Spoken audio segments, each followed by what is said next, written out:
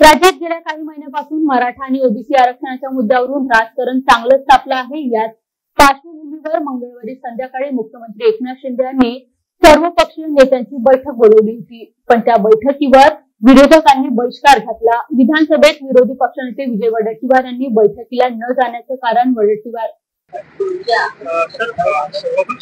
आज आरक्षणाच्या संदर्भात मुख्यमंत्र्यांनी जी बैठक आयोजित केली होती सर्वपक्षीय बैठक त्यामध्ये न जाण्याचा निर्णय यासाठीच घेतला गेला की सार्वभौम सभागृह आहे महाराष्ट्राचं. ते विधानसभा सुरू आहे सेशन सुरू आहे.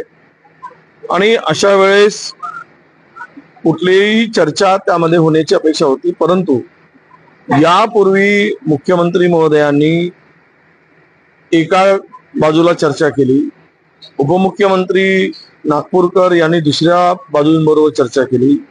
दोघांच्याही बरोबर चर्चा करून त्यांनी त्यांना काय कळवलं काय आश्वासन केलं हे दोनही आंदोलन त्यानंतर स्थगित झाले.